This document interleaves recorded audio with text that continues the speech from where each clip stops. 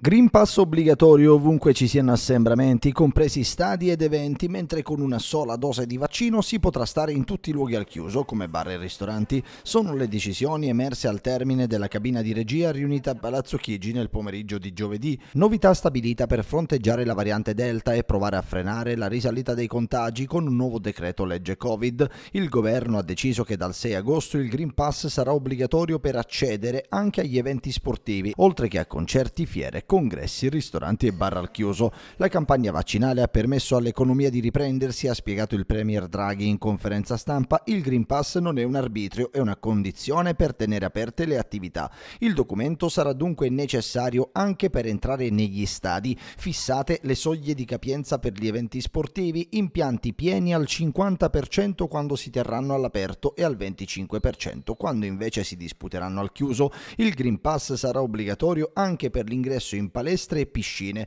L'entrata in vigore è stata posticipata di due settimane per dare il tempo necessario a tutti di uniformarsi alle nuove regole. Basterà avere anche la sola prima dose di vaccino per ottenere il Green Pass con validità di nove mesi e il documento sarà valido anche per chi abbia fatto un tampone negativo nelle 48 ore precedenti o sia guarito dal Covid nei sei mesi precedenti. Non è però ancora chiaro se tali limiti saranno validi per tutte le zone di emergenza. Una regione infatti passerà in zona gialla in presenza di un contemporaneo riempimento di pazienti Covid-19 al 10% delle terapie intensive e al 15% dei reparti ospedalieri ordinari.